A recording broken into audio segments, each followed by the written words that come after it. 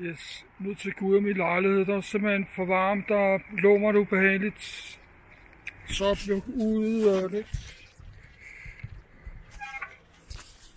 Det der Eurovision starter nu klokken 9 nu.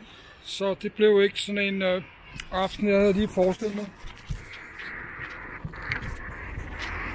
Men lad os komme lidt fra downtown.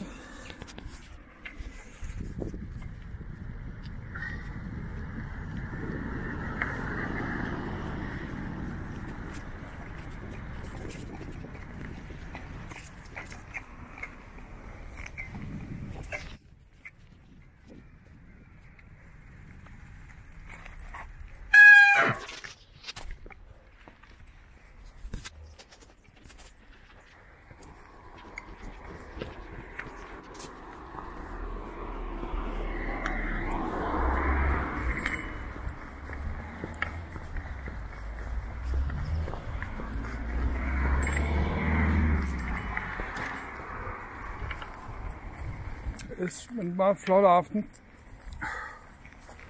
Det er sådan nærmest en sommeraften også, men der er også mega varmt og lummert med lejlighed.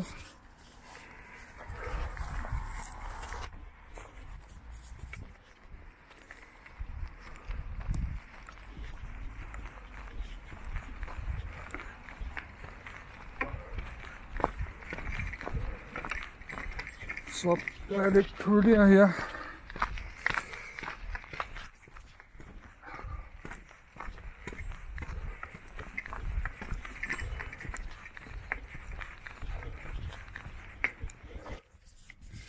Nej, mine tænder, tænder helt ømme, og jeg har også noget høfeber.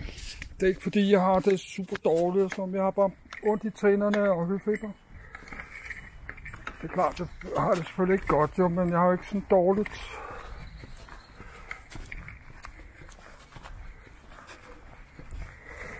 Og så jeg tænkte på, at det hjælper at komme ud af, hjælper at komme ud af den lummer lejlighed.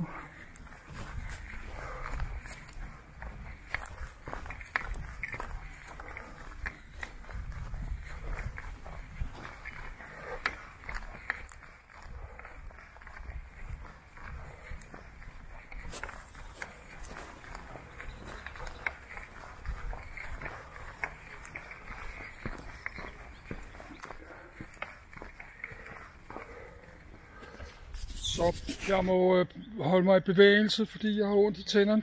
Jeg har ikke tænkt mig at sidde her. Det der Eurovision er start, alle, alle folk har åbne døre og vinduer og sådan noget.